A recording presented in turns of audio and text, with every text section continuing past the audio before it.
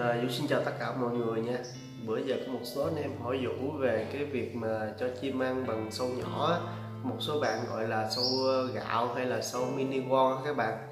Thì hôm nay Vũ làm một video để Vũ trả lời một số anh em cũng như là à, chia sẻ những hiểu biết của Vũ về cái lợi ích cũng như những cái tác hại mà khi anh em sử dụng sâu không đúng cách nha mọi người.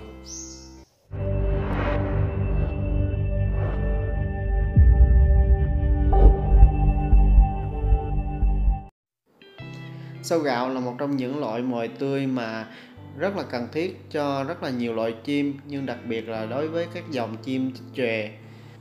Tuy vậy, đây cũng là loại mồi tươi mà có thể gây cho chúng ta rất là nhiều hệ lụy nếu mà chúng ta sử dụng một cách tùy tiện và không đúng trong cái từng giai đoạn của con chim nha các bạn tác dụng lớn nhất của sâu quy đó chính là kích lửa cho con chim nha các bạn.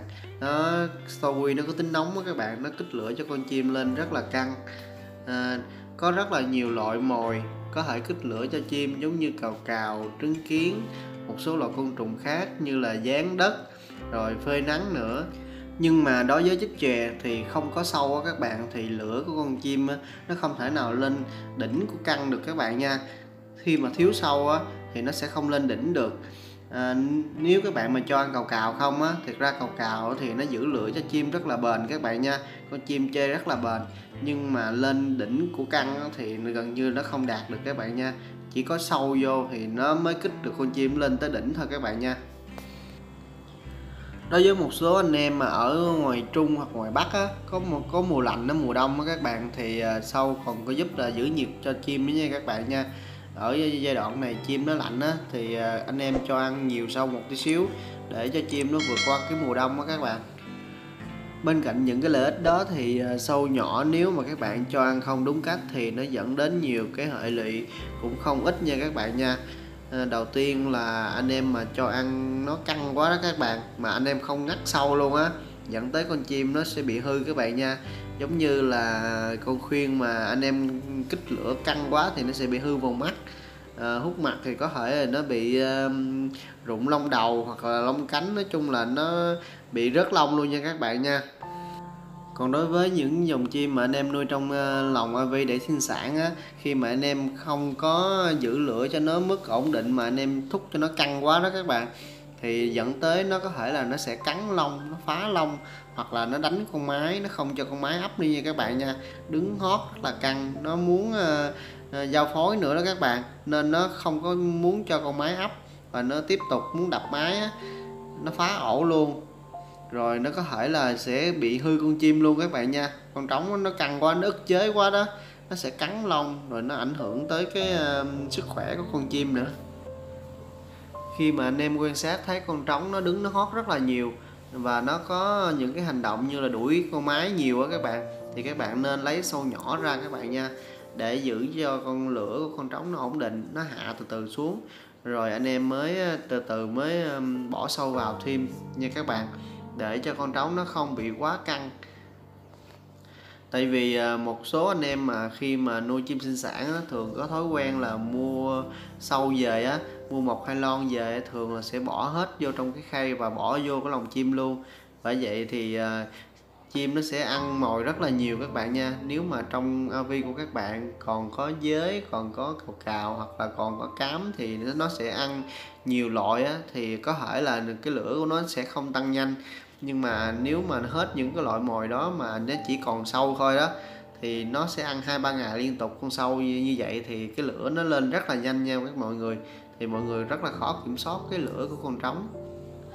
Thứ hai là trong cái giai đoạn thai lông của con chim á các bạn thì các bạn nên hạn chế cho ăn sâu nhỏ.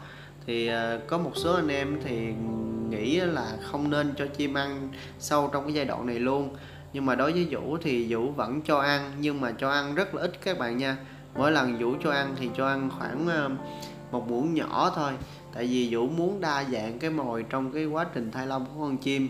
À, Vũ muốn thay đổi cái khẩu vị của nó đó để kích thích cho nó ăn nhiều hơn các bạn nha nhiều mồi hơn để con chim nó khỏe hơn.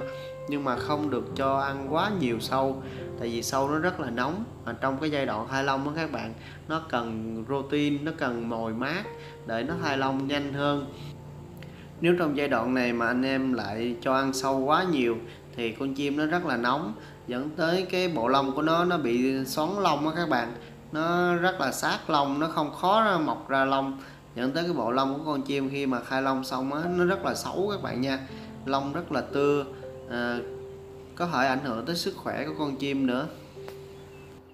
Còn đối với những anh em mà nuôi chim sinh sản á, thì trong cái giai đoạn mà chim non vừa mới nở à, chim bố mẹ đút mồi cho con á, thì anh em hạn chế bỏ sâu nhỏ vô trong à, avi tại vì nếu mà không có mồi khác á, thì chim nó sẽ lấy sâu nhỏ đút cho chim non các bạn, thì dẫn tới cái bộ lông của chim non nó cũng rất là xấu. Thứ hai, nó rất là yếu nha các bạn nha. Ở giai đoạn mà chim non bắt đầu tập mổ thì anh em có thể sử dụng một ít sâu nhỏ trộn với cám để dễ dàng tập cám cho chim hơn. Nhưng mà trong giai đoạn này thì anh em cũng chú ý là đừng có quá lạm dụng sâu nhỏ nha mọi người nha. Tại vì nó cũng là đang trong cái giai đoạn phát triển lông, phát triển xương anh em nên bổ sung nhiều mồi tươi mà nó có đạm nó có canxi hơn. Chứ con sâu nhỏ này thật ra nó rất là nóng các bạn nha. Nó chỉ có chất nóng thôi chứ thực ra đạm với canxi thì nó gần như không có ít. Nó có rất ít nha các bạn. Sâu nhỏ là một trong những loại mồi mà rất là phổ biến gần như là tiệm chim cảnh nào cũng có bán các bạn nha. Hiệu quả của nó thì cũng rất là cao.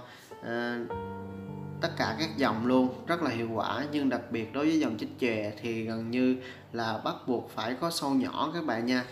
Nhưng nó cũng sẽ đem lại một số cái hệ lụy khi mà anh em sử dụng không đúng cách không đúng ờ, trong từng giai đoạn của chim. Thì à, hôm nay Vũ làm một cái video chia sẻ những cái hiểu biết những cái kinh nghiệm của Vũ về việc sử dụng sâu.